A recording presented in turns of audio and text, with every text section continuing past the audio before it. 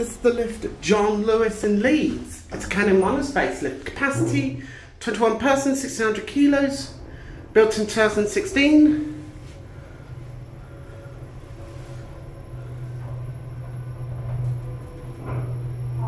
Got four, go back down to G.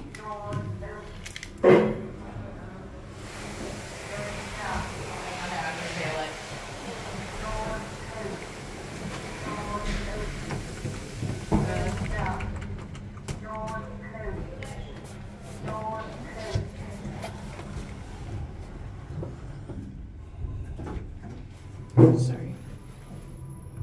Where we go? Oh, ground.